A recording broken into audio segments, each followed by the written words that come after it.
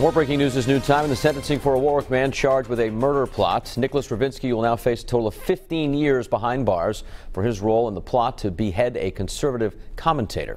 Eyewitness News reporter Steph Machado was in federal court for this decision. She joins us now live from Boston with the latest.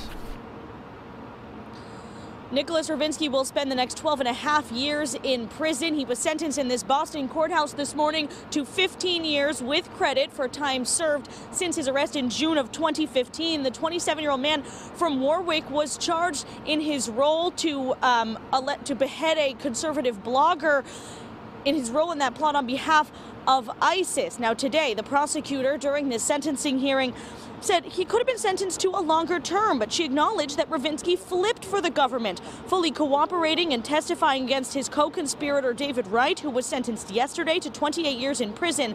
The prosecution said Wright was the mastermind and Rovinski was manipulated by him, although he certainly committed the crimes. He downloaded ISIS materials. He agreed to be part of the beheading plot of Pamela Geller, which was never carried out. He also later wrote letters in prison about recruiting more people to ISIS, later denouncing the ISIS ideology.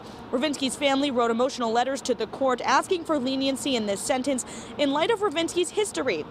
He has cere cerebral palsy. He had a difficult and at times lonely life, according to his family, turning to Islam for comfort as a young adult, but then meeting David Wright online and becoming indoctr indoctrinated.